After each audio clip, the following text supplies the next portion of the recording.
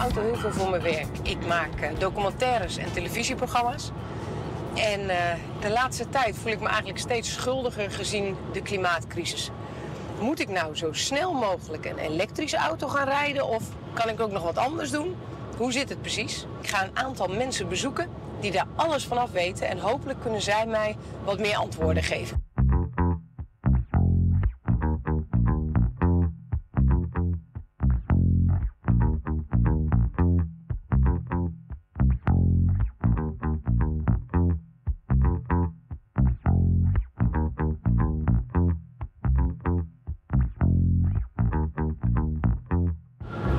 Überhaupt nog wel maken om in mijn huidige auto met verbrandingsmotor te blijven rijden? Nou, Milieu Centraal ziet in ieder geval in het nieuwe coalitieakkoord dat alle eh, nieuwe auto's die in 2030 verkocht worden emissieloos moeten zijn. Eh, dat wil zeggen zonder uitstoot van CO2. We verwachten dat vanaf 2030 er geen nieuwe ehm, brandstof fossiele auto's meer worden verkocht. Dat is althans wel het voornemen. Dan heb je natuurlijk nog een hele grote tweedehandsmarkt eh, die wel fossiel is. We hebben 9 miljoen auto's op de Nederlandse wegen rijden. Eh, daarvan zijn er nu zo'n 300.000 eh, elektrisch. Wij denken zelf bij BOVAG dat tegen die tijd er van het totale wagenpark misschien zo'n 2 miljoen elektrische auto's zullen rijden. Dat is de reële inschatting. En dat betekent dat nog altijd het merendeel van de mensen in een fossiele auto rijdt. Maar in de toekomst zal uiteindelijk iedereen elektrisch rijden. We zijn zeker klaar voor uh, elektrisch rijden. Qua veiligheid heb je natuurlijk wel te maken met een aantal aspecten... zoals het heel snel kunnen optrekken van elektrische auto's. Daar moet je ook verantwoordelijk mee omgaan. Je hoort elektrische auto's ook minder goed aankomen... omdat er natuurlijk geen geluid op zit. Dat willen we ook. Alleen daar moeten we wel met z'n allen aan wennen. Het grootste deel van Nederland heeft niet het, uh, de financiële middelen... om een nieuwe elektrische auto te kopen... Maar die mensen hebben wel recht en behoefte aan mobiliteit. Die moeten ook naar hun werk, die dragen ook bij aan de maatschappij door zich te verplaatsen. Wat we ook niet moeten vergeten is dat het aanbod van gebruikte elektrische auto's ook steeds meer gaat toenemen. En daarmee wordt de elektrische auto ook toegankelijker voor veel meer mensen. Maar als ik nog geen elektrische auto kan kopen, wat dan? Kies een auto die qua formaat bij je gebruik past. Dus rij niet onnodig in een grote auto rond, maar kies gewoon een kleine en zuinige auto als je die grote auto niet nodig hebt. Iedereen koopt een SUV, maar die gebruikt wel meer brandstof. Dus koop een lichte auto en koop een lage auto. Je hoeft niet alleen in de auto, je kan het combineren met de fiets eh, of met een, uh, met een deelscooter, of wat, wat dan ook, wat je wil. Laat de auto staan als je hem niet echt nodig hebt. Als je gezond bent, kun je 10 kilometer makkelijk fiets doen. Doe dat, is beter voor het milieu, is beter voor je auto. Ga die langer mee, heb je minder kosten ook aan je auto. Wat ook heel belangrijk is, neem niet onnodig veel dingen mee in je auto. Dat maakt de auto zwaarder en je verbruikt dan veel meer energie. Ben je op wintersport geweest, haal die skikoffer eraf. Ben je op zomer een fietsvakantie geweest, haal je fietsenrek eraf. Dat verbruikt allemaal onnodig energie en dat is echt zonde. Ja, natuurlijk uh, kunnen mensen nu al uh, schoner tanken aan de pomp. Doordat het met biobrandstoffen is gemengd. Heb ik verder eigenlijk nog invloed op mijn brandstofverbruik? Als ik rustiger rij, en mijn snelheid beperk, dan heb ik minder uh, luchtweerstand en zal ik altijd zuiniger rijden. Als het maar even kan, cruise control aan. Soms is het te druk en dan kan het niet, maar heel vaak kan het wel. Cruise control. Gebruik dat ding. Belangrijk. Op tijd wegrijden, op tijd weggaan. Reageer proactief op de verkeerssituatie, zodanig dat je door afstand houden vermijdt dat je moet remmen.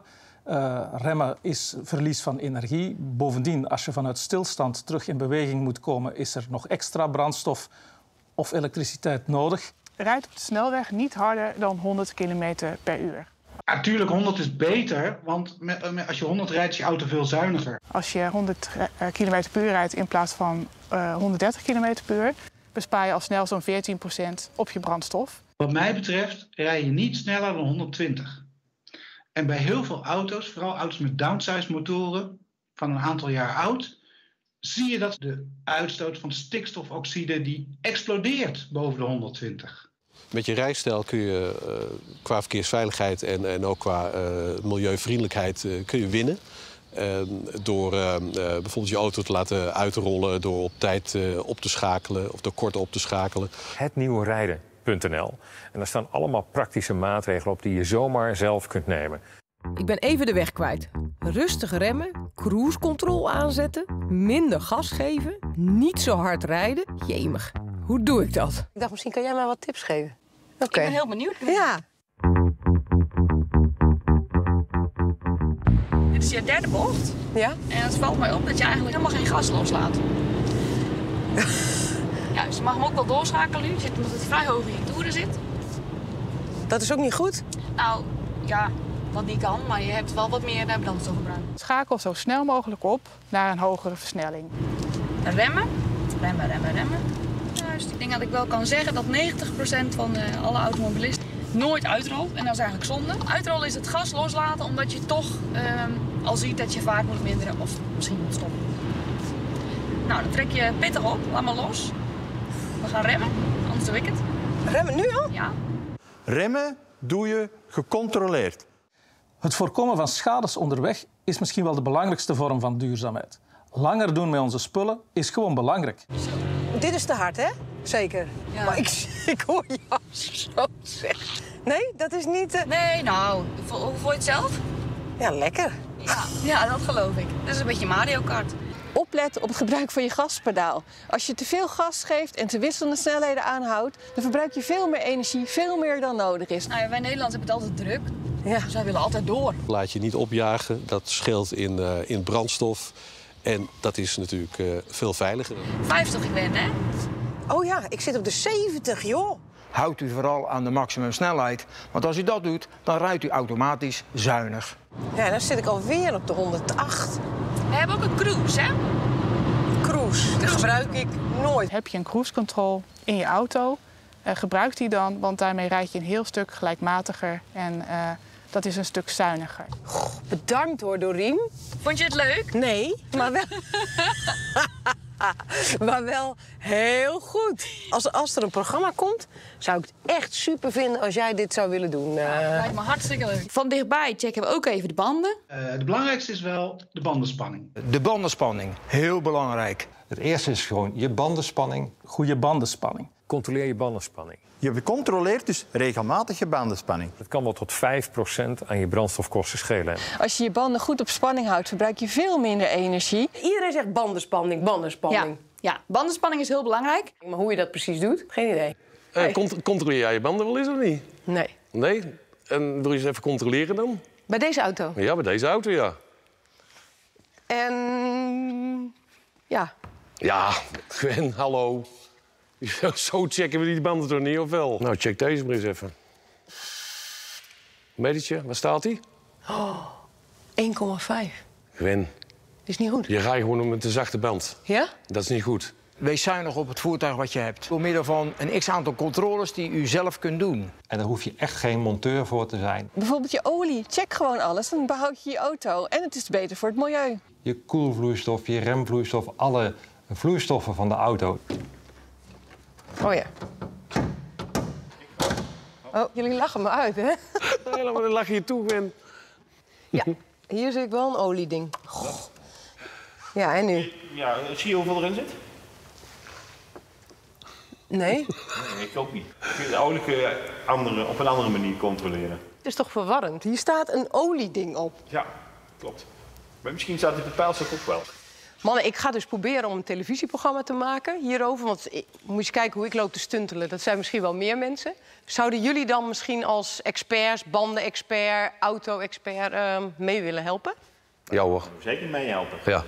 Goed idee. Ja? Ja, ah, super. Alle dingen zoals smeermiddelen, filters, uh, al die componenten, die zitten daar niet in uh, omdat het leuk is om ze erin te stoppen. Maar die hebben te maken met het ideale samenspel. Ja, dan gaat je auto beter presteren. Maar wil je die auto behouden, dan moet je hem wel goed onderhouden. Onderhoud moeten we niet vergeten. Een goed onderhouden motor verbruikt minder en heeft veel minder uitstoot. En uh, mensen zijn ook altijd wel een beetje bang dat ze iets te veel onderhoud aangesmeerd krijgen dan nodig is. Maar als je weet wat voor onderhoudsbeurt je te wachten hebt, dan kun je op de site van de fabrikant kijken wat kan ik dan verwachten en wat moet er echt gebeuren. Dus kun je echt aan je garage, met je garage overleggen van welke handelingen doe je wel en welke handelingen doe je niet. En onderhoud is goed voor het behoud van je auto, maar ook voor het energieverbruik. Dus bespaar niet op onderhoud. Rij niet van APK tot APK. Doe die onderhoudsbeurten tussendoor. Dat maakt een wereld van verschil. Als je kijkt naar de circulaire economie, zit daar heel veel winst te halen. Maar het is daarnaast ook belangrijk om je auto met mate te gebruiken. En rij daarnaast ook zuinig. Ik denk erover na om een tv-programma te maken. Geluk op wielen. Met tips voor iedereen om meer grip te krijgen op hun auto, brandstof en autokosten. Prachtig. Het zal mensen doen inzien dat hun auto helemaal niet slecht hoeft te zijn als je er maar voldoende aandacht voor hebt. Ja, ik vind het een super eh, idee dat dit programma er is. Want ook mensen die autorijden kunnen natuurlijk ook uh, dingen leren om, om nog zuiniger te rijden en om te gaan met hun uh, auto. Dat is echt hartstikke belangrijk. Als je kijkt waar consumenten het verschil kunnen maken, hè, echt met hun individuele gedrag, dan zit het op een aantal zaken. Dat OV, fiets, hoe vaak vlieg je, maar ook juist die auto. Dus echt super dat je dit programma maakt. Nou, heel goed idee. Waardoor mensen een, een, een, een kennis kunnen, kunnen bijspijkeren... of waardoor er uh, nieuwe inzichten worden gegeven aan mensen. En dat is, dat is belangrijk. Maar ik vind het gewoon schitterend als idee. Ik vind het een heel goed idee. De auto, dat is gewoon een geweldig ding. De auto is praktisch. Je kunt veel spullen en mensen meenemen. Maar ja, de auto is ook extreem hinderlijk. Hè?